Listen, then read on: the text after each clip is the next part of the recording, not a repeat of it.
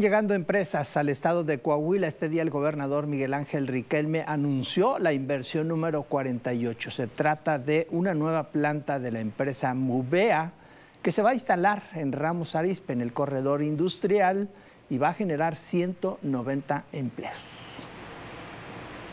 Durante un evento en Palacio de Gobierno, directivos de la empresa proveedora automotriz Mubea manifestaron que al estar ya instalados en el estado y ante el crecimiento de la industria en la región sureste, decidieron volver a invertir, pues el clima de paz laboral y social de que goza Coahuila es la principal garantía de crecimiento y estabilidad. Por ello, en conjunto con el gobernador Miguel Ángel Riquelme Solís, anunciaron la construcción de una nueva planta en Ramos Arizpe, la tercera en Coahuila de esta misma empresa proveedora, la cual pretenden terminar para el 2025 invirtiendo 57.7 millones de dólares. Ya lo dijeron, casi 58 millones de, dólares.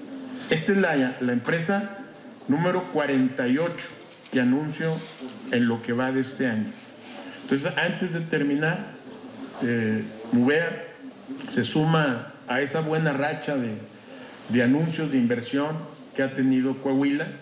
Por lo tanto, tenemos la responsabilidad de que a Mubea le vaya muy bien. Vamos a estar muy atentos al inicio de operaciones. Eh, parece que toca la primera piedra de la planta en, septiembre. No la vayan a retrasar porque si no ya no me toca.